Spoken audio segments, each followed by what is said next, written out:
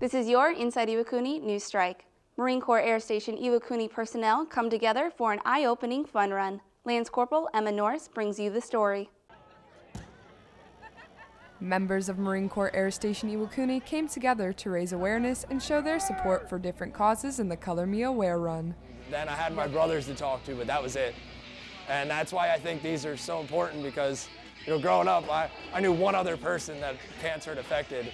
And then I get out to an event like this and you just realize how, how common and how big this problem is. Yellow represented suicide prevention, pink stands for breast cancer awareness, purple simulated domestic violence prevention, red showed drug prevention, and blue represented child abuse prevention. And it's, it's just a, a, a positive uh, environment, a positive event to show a remembrance of your loved ones. And uh, there were no tears. You know, at the beginning there was uh, cloudy and the rain came, but after a while, towards the end, the, the skies opened up and we, we made our own rainbows with all the different colors during this color run.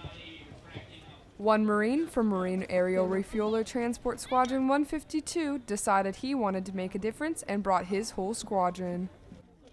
Well, about a year ago, I lost my mom to just about every cancer that I could possibly imagine. Since then, it was really hard then, and then as the years as the year passed, uh, I noticed that more and more people were struggling with it may not have been cancer, but family members dying. And I wanted to put something together like just for every single type of cancer and to let reach out to people and let them know they're not alone.